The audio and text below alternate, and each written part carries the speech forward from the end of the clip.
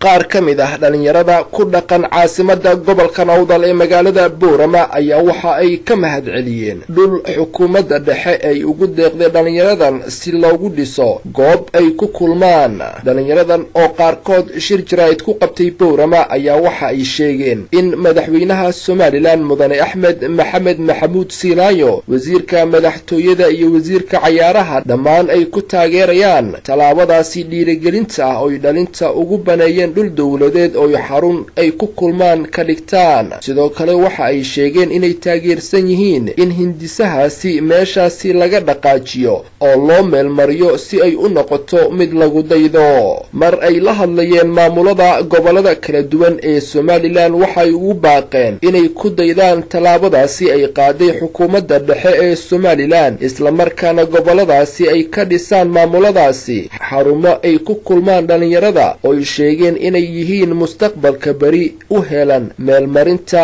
horumarka ay tiigsanayso somalilan.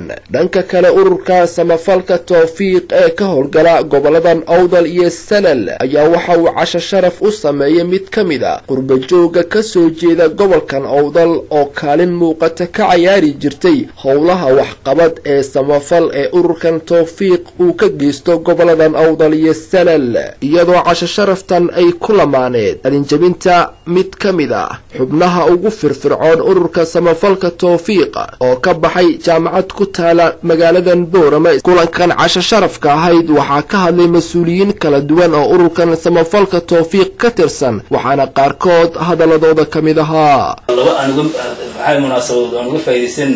Oon leenahay? Hodan tawfiiq wada arki mayso inta maxay hayday ay joogto?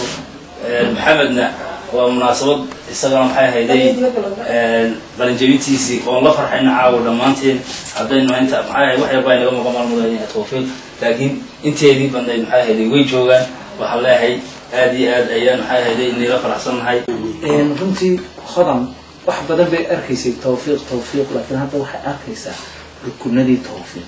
Ilaahay tawfiiq ayna waafajiyo dadka qurbajoogana waxaan u sheegaynaa tawfiiqun ku xidhnaada waa dad waa xubno aada u firfircoon jecel dad dadka buka ee dhibaataysan inay inii soo bandhigaan iyagoo runtii aanan shilna ka helin ujeedadeenu caa waxa inaan tawfiiq isugu nimaano inagoo inankii kala dambayska hanoo qalinjabinayo inantii culadda ahaydna noo timuday caruurtiiba meeshaan ku haysanaa. Waxaan lee ka baryanaa ilaahay ummadda tawfiiq oo dhan waafajiyo dhammaantoodna urka tawfiiq u soo xidhiiyo walaasha hodan siciid iyadana waxaan uga mahadnaqayaa. Sidii intii hooya ay maqnayd ay aadka noogu soo caawin jireen ayadana uga mahadnaqayaa sida sahal cali xasan oo kale. Raami xillo oo kale gurigaan u dhisno qaweenkii aada nooga soo taageera bay ahaayeen. Intii hooya maqnayd aada nooga shaqeeyey isbitaalka dhimarka qoladii lacagta u soo dirtay bay ahaayeen. Aada iyo aad baan leeyahay aada u mahadsantihiin adiga iyo hablihii kale ee maarataanay qurbaha kula joogay way mahadsan yihiin. Waa bilow.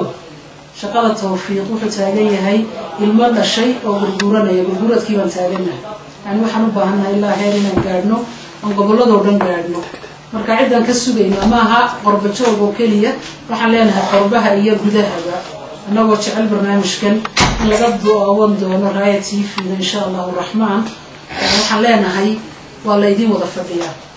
Waxaanan ilaahay ka rajaynaynaa siday roogaba ku xidhay inay ummadoo dhami tawfiiq iska noqoto.